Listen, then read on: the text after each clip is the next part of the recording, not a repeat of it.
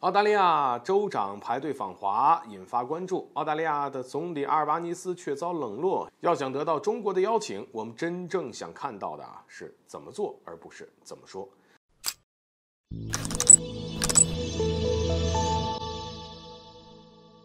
大家好，欢迎来到赵团长观察室。前段时间，澳大利亚州长排队访华，引发了关注。那么，尽管澳大利亚因为各种对华不友好的举动伤害了中国人民的感情。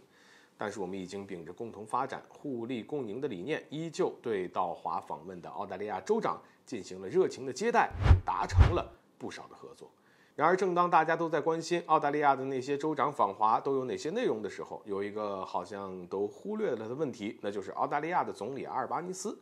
就在前几天呢，有一名记者采访阿尔巴尼斯的时啊，问到说有没有被中国邀请啊？他回答称暂时没有受到邀请访华。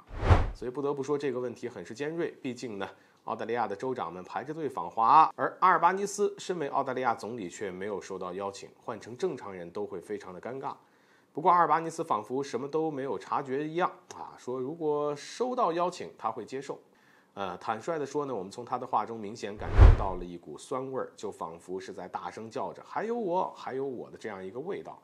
啊，其实说明白一些，就是当下全世界都忙着来中国寻求合作的时候，澳大利亚政府呢却被冷落到了一旁，让阿尔巴尼斯感到焦虑与不安。可是恐怕阿尔巴尼斯自己心里也很清楚啊，尽管澳大利亚工党已经当权，但是呢，澳洲军方和情报部门一直坚定地站在美国一边，而且澳大利亚的军方发言权非常大。就比如前段时间。澳大利亚不顾外界巨大的反对声，还是义无反顾地购买了美国的核潜艇，而正是其政府已经被军方死死拿捏的体现啊，所以呢，才会让我们看到一个反复无常的澳大利亚。说到底，其实就是背后有一张来自美国的手啊，在进行着远程操控啊。我们用流失的澳洲政府铁打的亲美军方来形容，其实是最合适不过的。